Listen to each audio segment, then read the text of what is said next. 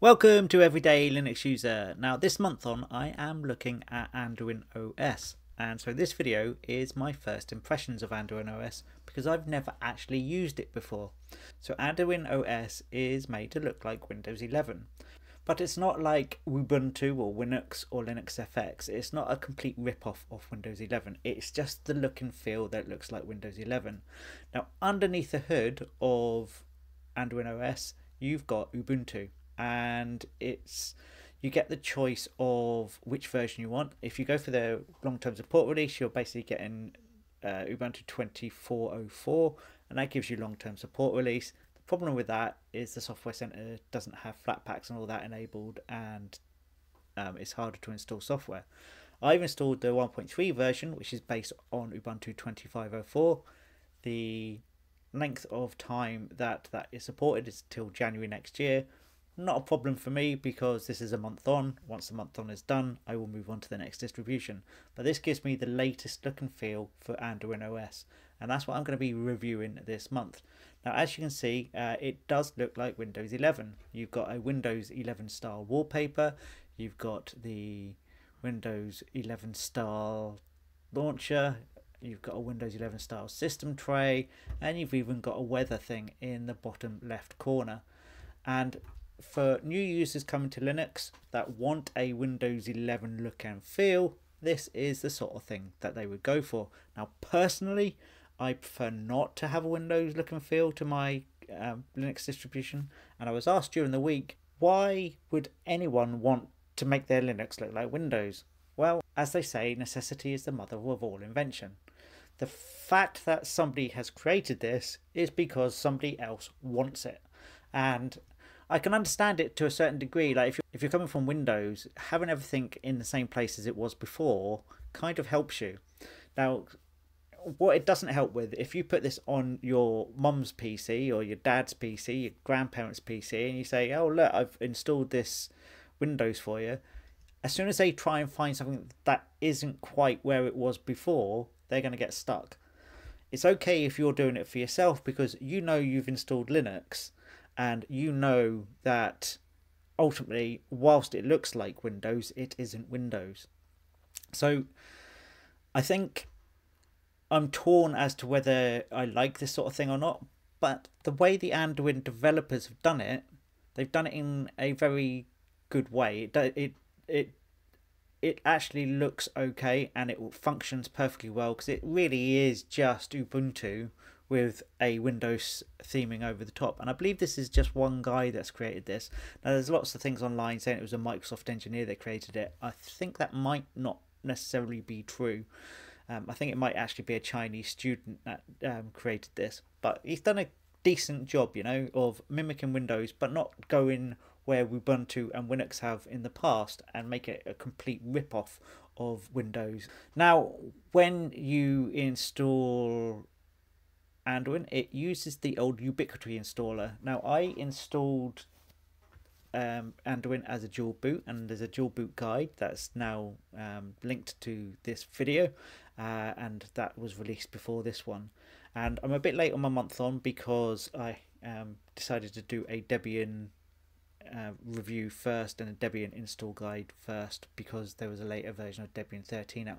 So yeah, I'm going to be spending a month on this. So this is my first impressions of Anduin. Uh, it does look like Windows um, to the point you've got desktop icons. As I said before, you've got the system tray, etc. And even when you press this menu here, you've got a Windows 11 looking feel to it, but it's not. It doesn't mimic it perfectly. It looks like it, but it doesn't. It's not a complete rip off. If you want to find your applications, you can go in there and you can search like that. You can type in the name of an application. So, for instance, if I search for LibreOffice, you can see LibreOffice is there.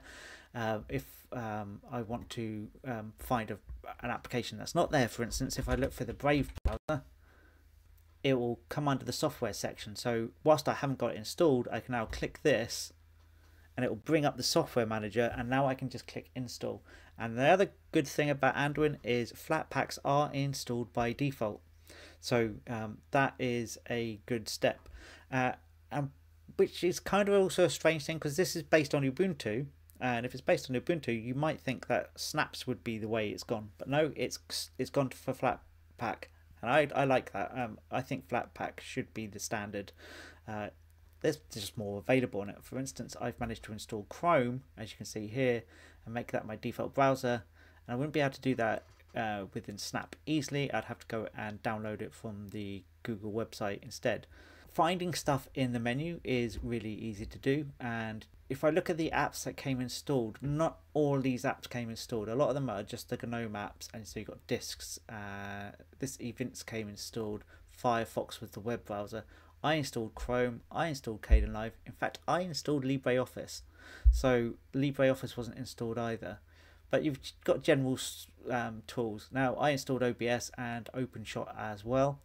Uh, but you've got all these other things here. Um, Rhythmbox, I think, was installed. It might not have been. But it's easy to install what you want. Essentially, search for the application and you can see here. If I want Steam it's under the software center here. I can just click Steam here. And it will take me to the software manager and I can install it from FlatHub. And if it's available as a deb package it will also be under there as well.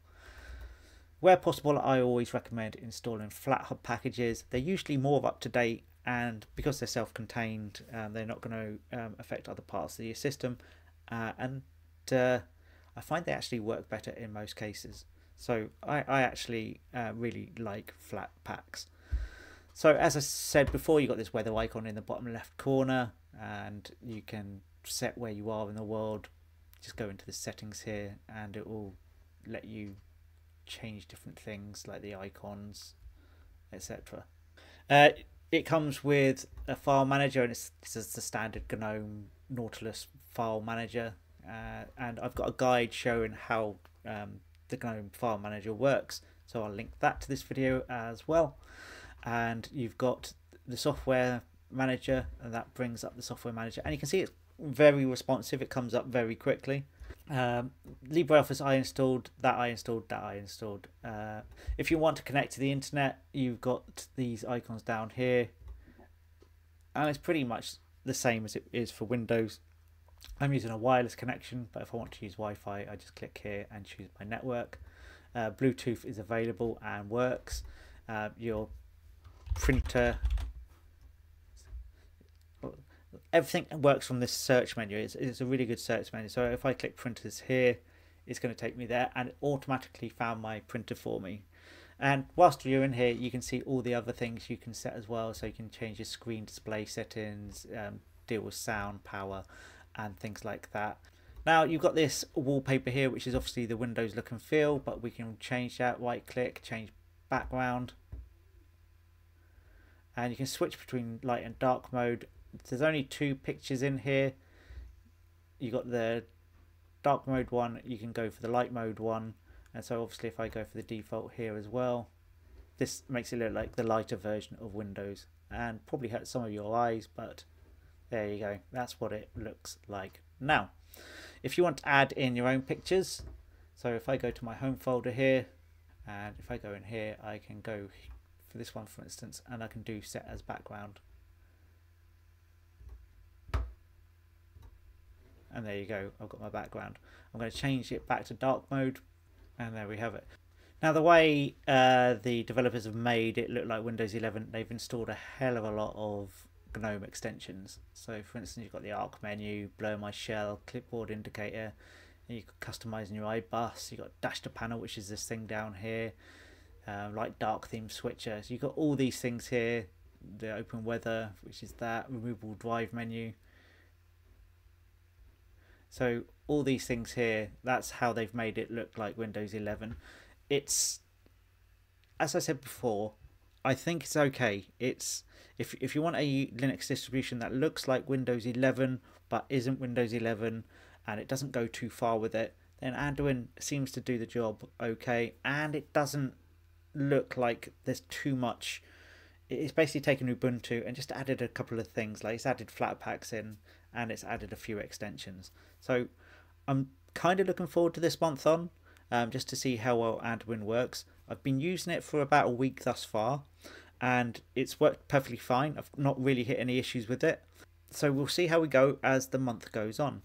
Anyway, that is the end of the video. Hit the like button if you enjoyed the video, hit the subscribe button, and I'll see you next time on Everyday Linux User.